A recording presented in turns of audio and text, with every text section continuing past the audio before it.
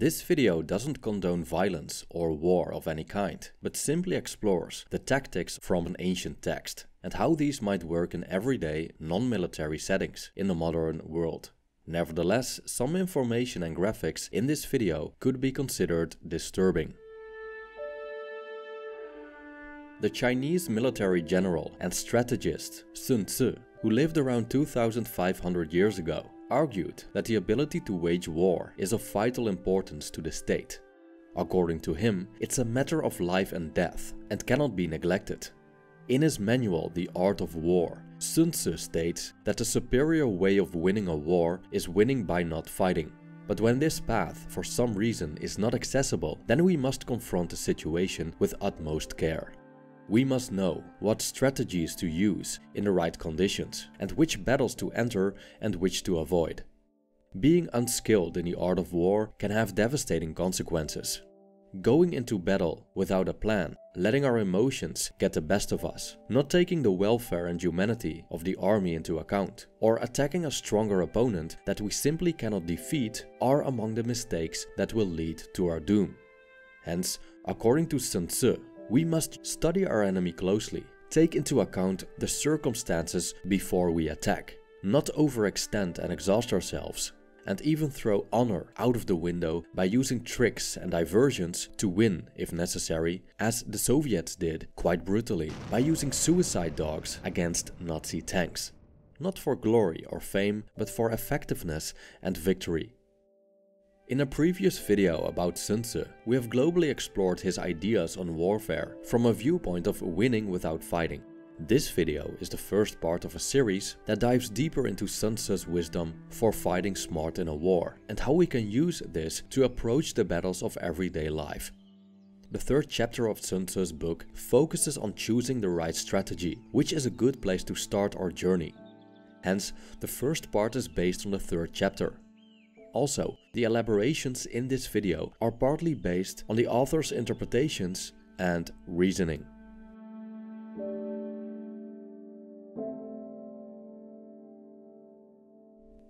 During his career, John Perkins stood before the Shah of Iran, the President of Indonesia, and the Royal House of Saudi Arabia, offering them large sums of money if they would agree to the terms that he laid out in front of them. But if they didn't agree, retaliation would follow. John Perkins was an economic hitman who helped to shape a global capitalist system that's based on the exploitation of resources through bribery, assassination, and even war. In his book Confessions of an Economic Hitman, he describes the tactics that his organization used to conquer its opponents, which were generally leaders of countries.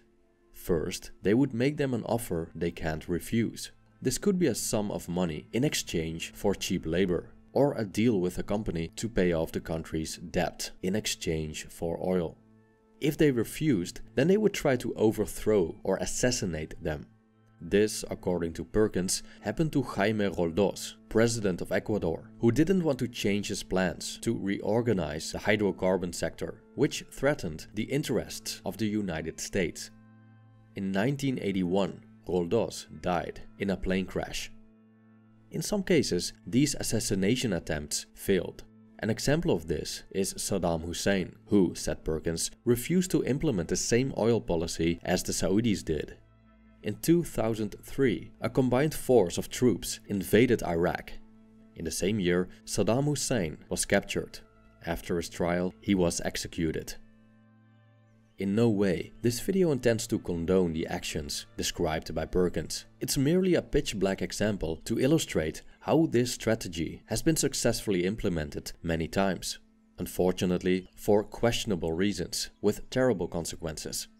However, the strategy that the economic hitmen use resembles the tiered system that Sun Tzu proposed in the third chapter of his book, which aims to prevent violent conflict if possible. Sun Tzu distinguished different forms of warfare. The highest form is to attack strategy. The second highest form is to attack alliances. The next is to attack armies. And attacking cities is the last resort.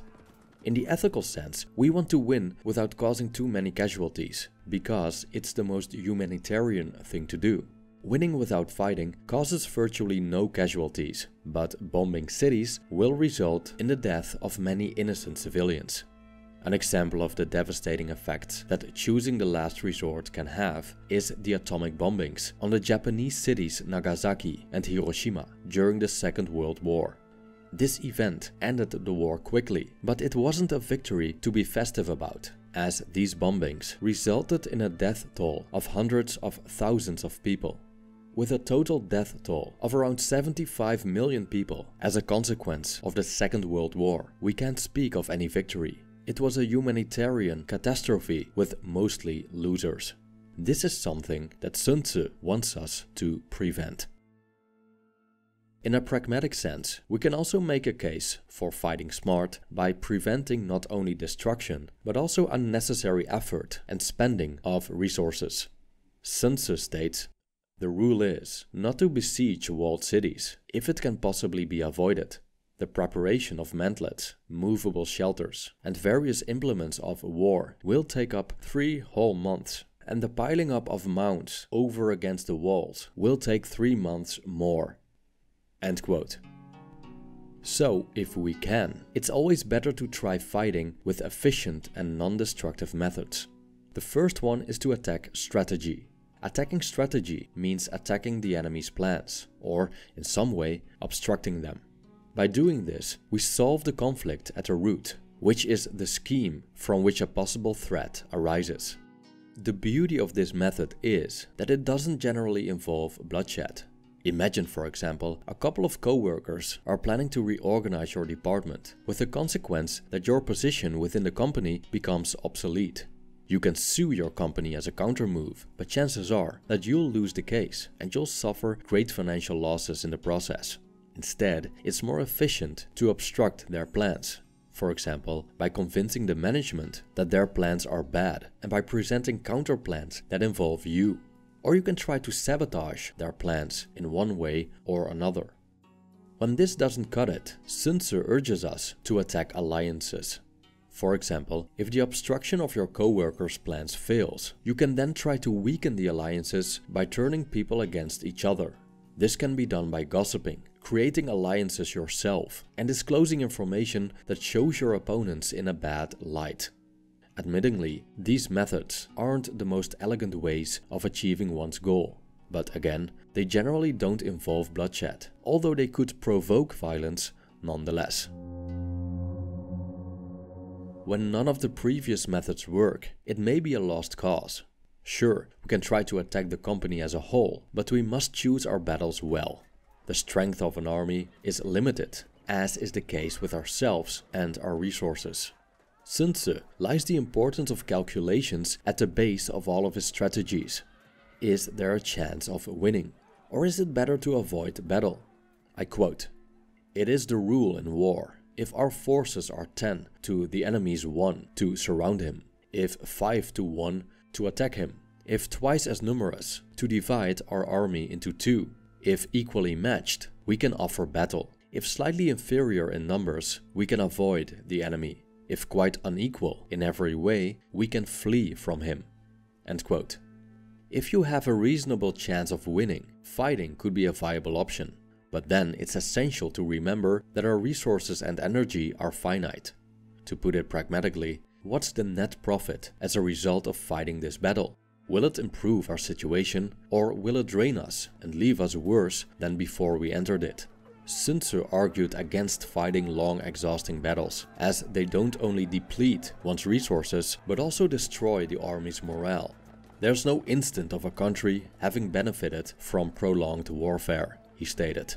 Sun Tzu justly argues that it's better to take a country intact and to capture a regiment, detachment or company without harming or destroying it. With such thinking, we could also approach the battles of everyday life if we evaluate all proposed steps in detail, will the benefits outweigh the losses or the other way around? If the latter is the case, and we're still eager to fight, we are probably being led by emotion rather than reason and logic. According to Sun Tzu, being led by emotion can have disastrous effects when it comes to decision making. I quote, The general, unable to control his irritation, will launch his men to the assault like swarming ants, with the result that one third of his men are slain, while the town still remains untaken. Such are the disastrous effects of a siege. At the end of the day, life is full of battles, and it's best to prevent destructive confrontations if that's possible.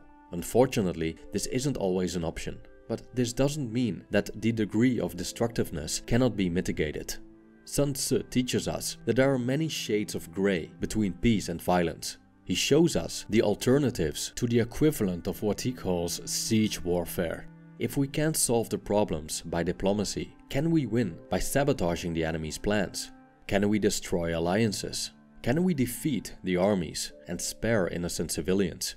Sun Tzu urges us to choose our battles carefully this requires calculations as well as sufficient knowledge about ourselves, the enemy, and the circumstances we're up against. Defeating the enemy quickly and efficiently is preferable, but getting entangled in long, exhausting conflicts must be avoided. And in some cases, when the odds are so clearly stacked against us, there is no reasonable course of action but to give up and leave. Thank you for watching.